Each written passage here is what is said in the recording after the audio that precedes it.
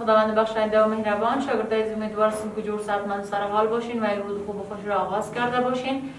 شاگردای عزیز درس امروز خود را به نام خداوند پاک شروع می‌کنیم. فصل اول صنف نهم مضمون science.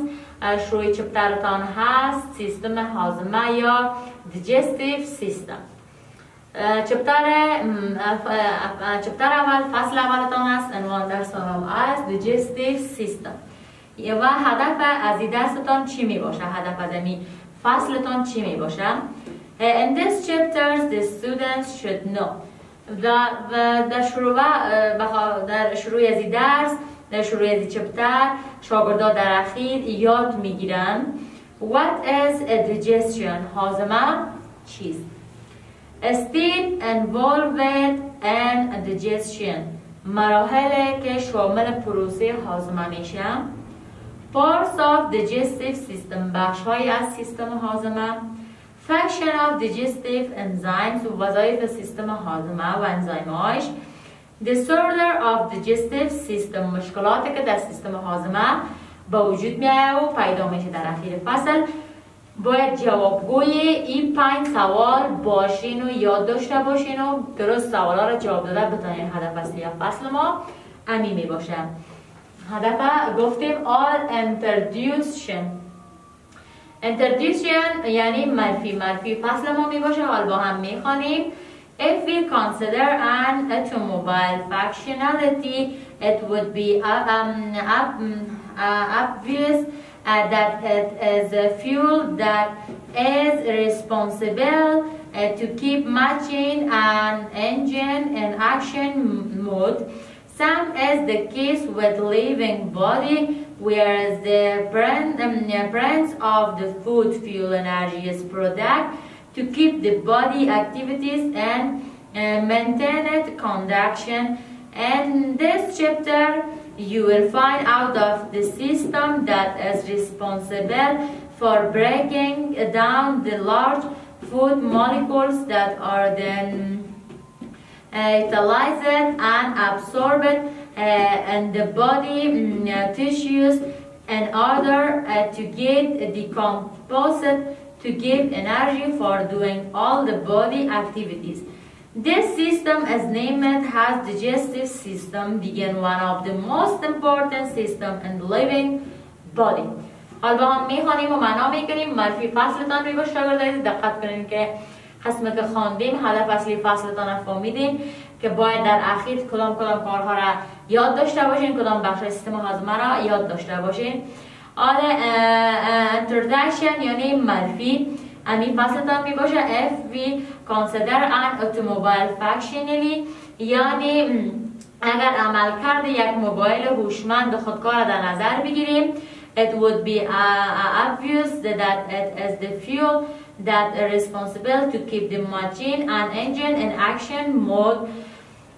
می‌بینیم که این تمام سوخت و تمام عمل کرده که این موبایل خودکار می داشته باشه ماشین خودکار می داشته باشه امی کلش در نگه داشتن ماشین و موتور حالت عملش از یعنی هر عمل که انجام میده کلش مختص به مو موتورش می باشه مختص به مو ماشین می باشه که تمام همه کاری کل بدنش می باشه کل جز از ماشین می باشه Same is the case with a living body where uh, the presence of the food fuel energy is product to keep the body activities and uh, maintain conduction در مورد بدن موجود زنده هم اموت یگب می باشد در صورت که مواد غذایی به انسان داده شود و سوخت ساز بدن در جریان بفته انرژی به خاطر نگه داشتن بدن ما تولید میشه و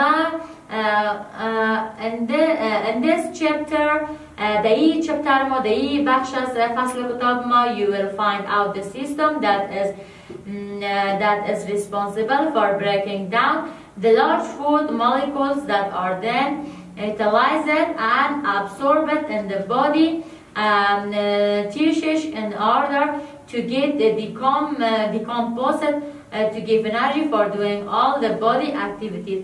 و در این فصل به سیستم که وظیفه شکستن مولکول های بزرگ مواد غذایی را که مواد غذایی را که بعدا مورد استفاده قرار می‌گیره در بافتای بدن جذب میشه و و خواهید فهمید که تجزیه میشه و انرژی لازمه برای انجام تمام فعالیت های بدن ما به دست میارم This system is named as digestive system. و امی سیستم به نام سیستم هاضمه. یاد میشه one of the most important system in the living body. و یگانه مهمترین سیستم سیستم موجود بدن موجود زنده می باشه که خیلی در زندگی موجود زنده رول مهم عمده را بازی می‌کنه.